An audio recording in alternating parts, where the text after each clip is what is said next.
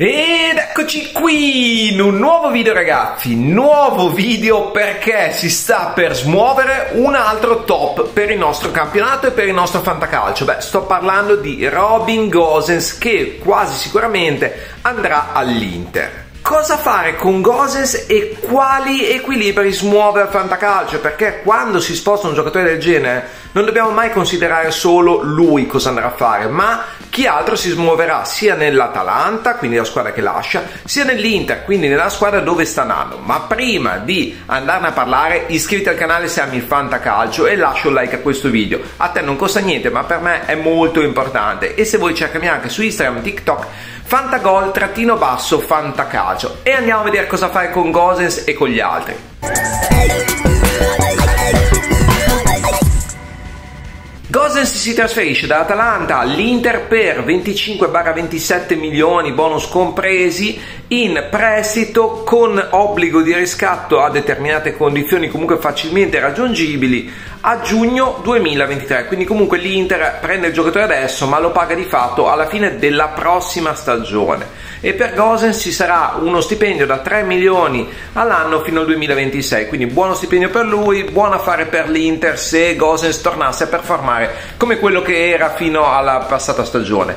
Ora cosa fare con Gosens al fantacalcio? Quindi andiamo ad analizzare Gosens, poi dopo analizzeremo tutti quegli altri che sta smuovendo. Gosens che va all'Inter, ok, lui in teoria dovrebbe giocare a sinistra, quindi nel posto ora occupato da Perisic, giocherebbe sempre fuori ruolo, a centrocampo, lì stato difensore, però, c'è un però, Perisic sta andando bene, quindi Perisic che probabilmente lascerà l'Inter a fine stagione sta rendendo e in questo momento, infatti, se vedete, non gioca neanche Di Marco, se non qualche sporadica apparizione però nei tre centrali di difesa.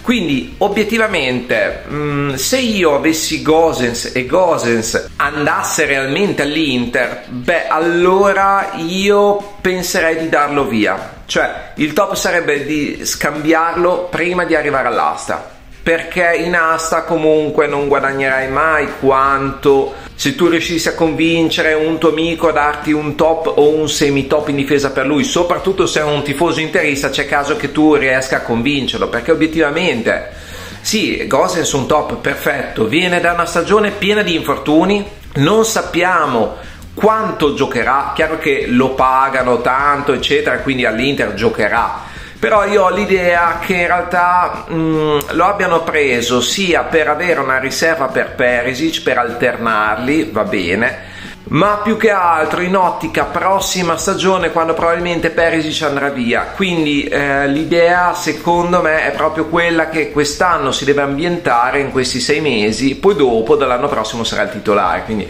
l'anno prossimo probabilmente Gosens è da prendere. Ora secondo me è da dar via. Poi tu puoi pensare di tenerlo lo stesso perché comunque ci sarà del turnover nell'Inter, perché comunque non è affatto detto che Perisic sia sempre titolare, ogni tanto Perisic lo schiera in attacco, però adesso Geco è a posto, Correa è a posto, c'è Sanchez, è arrivato anche probabilmente Caicedo all'Inter, quindi di, di, di surplus là davanti ne hanno. Ora, Gosens secondo me è da dar via se va all'Inter, io lo darei via, però in uno scambio. Poi bisogna vedere le regole che avete durante la vostra asta, perché se tu recuperassi tutti gli interi crediti che hai speso per Gosens, beh allora tanto vale svincolarlo all'asta perché ti fai su un pacco di crediti da spendere. Vediamo cos'altro smuove. Perisic.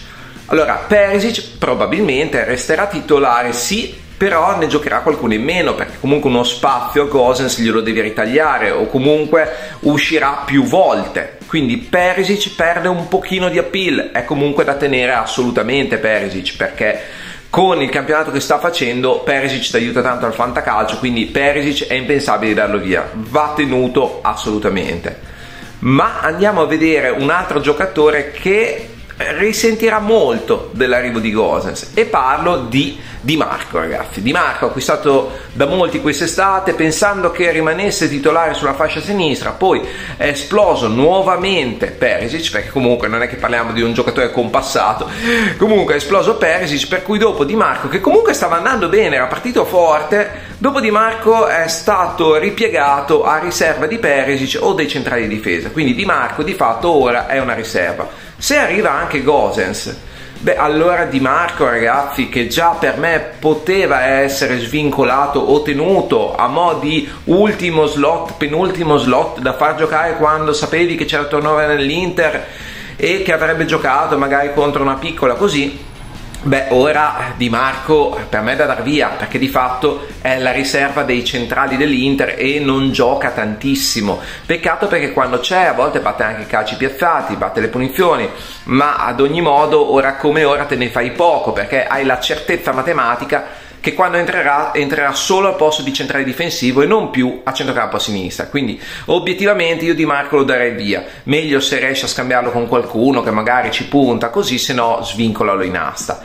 E cosa succede nella Dea ragazzi? No perché adesso a meno che non facciano un nuovo acquisto diciamo che resta uno slot libero a centrocampo a sinistra nella Dea. E chi lo impiegherà ragazzi?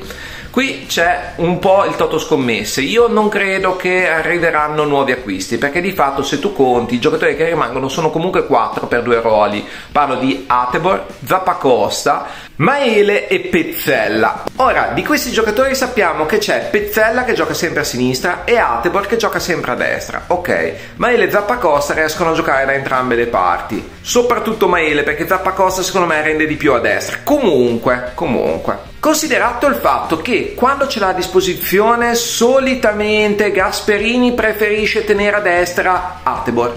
Fateci caso, quando è in forma, in grado di giocare, è quasi sempre titolare a destra Atebor, per cui io credo che la fascia destra rimanga ad Atebor.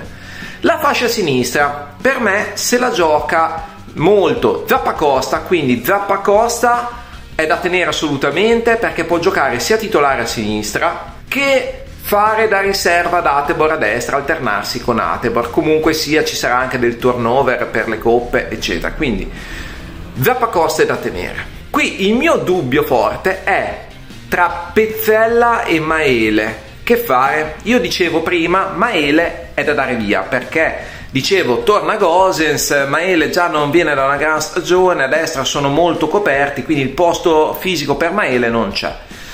E ok, il problema è che poi si è preferito anche Pezzella a Maele ultimamente. Quindi, obiettivamente, sarebbe quasi da tenere di più Pezzella, cioè da prenderlo perché quasi nessuno ce l'avrà, prendere Pezzella a mo' di scommessa.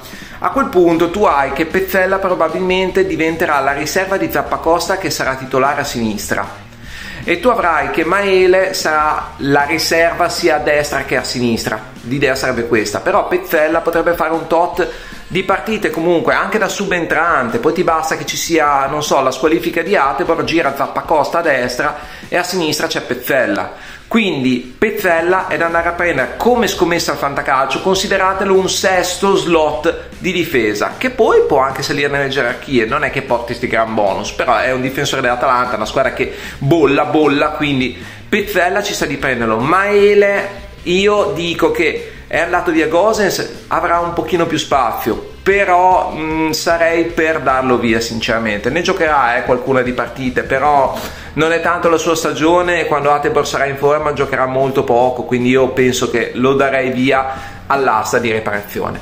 Fammi sapere che ne pensi con un commento qua sotto, cosa farai tu se hai uno dei giocatori che ho citato o se punterai qualcuno di questi giocatori. Se questo video ti è piaciuto ti chiedo un like e l'iscrizione al canale, soprattutto se ami il fantacalcio. È gratis, non capisco perché circa il 45% di chi vede i miei video non è iscritto al mio canale ed è gratis. Cercami su Instagram e TikTok fantagol-basso fantacalcio e c'ho anche la piattaforma viola Fantagol anche lì. E poi se stai cercando spunto per la tua asta di riparazione, vieni a vedere questi due grandi eventi. 1 febbraio, ore 21, asta di riparazione del Fantacalcio YouTube Italia. 2 febbraio, ore 21, asta di riparazione del Fantacalcio Fanta YouTuber. Due vere aste di riparazione live, vedrai chi svincoleremo, chi prenderemo e come ci muoveremo come strategie. Sarà molto interessante per te che dovrai ancora fare la tua asta, così avrai tanti tanti spunti. Ciao e buon Fanta a tutti!